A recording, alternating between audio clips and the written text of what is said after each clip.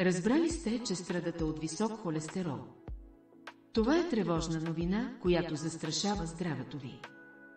Ако се замислите, сами ще осъзнаете, че това не е толкова странно.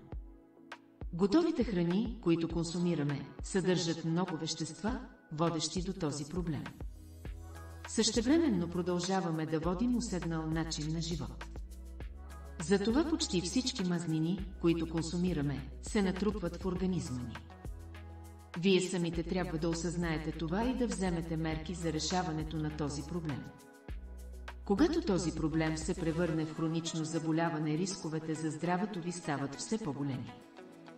Организмът е застрашен от развитие на атеросклероза и тежки, понякога фатални последици като инфаркт или инсулт. Става въпрос за риска от появата на сърдечно-съдови заболявания, болка в гърдите, атеросклероза и коронарна болест на сърцето. Както виждате, проблемът с високият холестерол съвсем не е безобиден. След проучване открихме лесна и ефективна домашна рецепта, която може да ви помогне в борбата с високия холестерол и неговите последствия за организма. Преди да я споделим с вас, ви напомняме да се абонирате за канала Моето здраве, ако сте пропуснали да го направите. Споделете видеото с приятели, така ще помогнете на повече хора да се преборят с високия холестерол. Благодарим ви!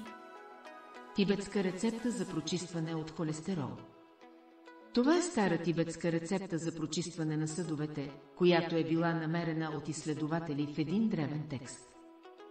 Според него, тази рецепта е способна дори да възстанови силите на организма, благодарение на уникалните лечебни свойства на чесъна.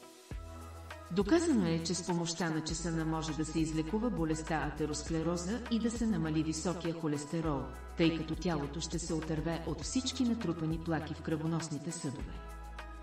Курсът на пречистване на кръвоносните съдове чрез тази рецепта трябва да се повтаря през 5 години. За да се приготви рецептата, взимате 350 грама обелен чесън. Смилате го, за да получите каша, слагате го в стъклен съд, който е добре затворен и трябва да го сложите на тъмно място. След няколко дни, когато чесънът ще отдели сок, заливате кашата с една водна чаша, 96% медицински спирт. Не е добре и не трябва спирта да се подменя с нищо друго. Съхранява се добре затворен съд и на хладно място, но не в хладилника. Покривате буркана и оставяте тинктурата така за 10 дни. След това прецеждате течността през ленена кърпа. Получената течност се поставя отново в добре затворена бутилка за 3 дни. Получената чеснова тинктура се ползва последната схема трикратно през деня, докато се стигне до 25 капки за всеки един прием. За всеки един прием слагате в 50 мл студено прясно мляко, определения брой капки тинтура и пиете половин час преди хранене. Прилагайте рецептата по определената схема без прекъсване в продължение на 3 месеца. Пийте редовно вода по 2 до 2,5 литра на ден, за да се улесни работата на черния дроб, тъй като пречистването от токсините преминава през него. Движете се повече, не пийте кафе, силен чай, какао, не използвайте остри подправки и сусове.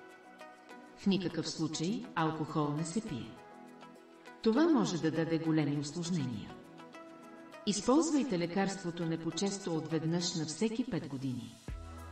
Споделете рецептата с приятели, така ще помогнете на повече хора, които страдат от висок холестерол и атеросклероза. Благодарим ви! Не забравяйте да се абонирате за канала.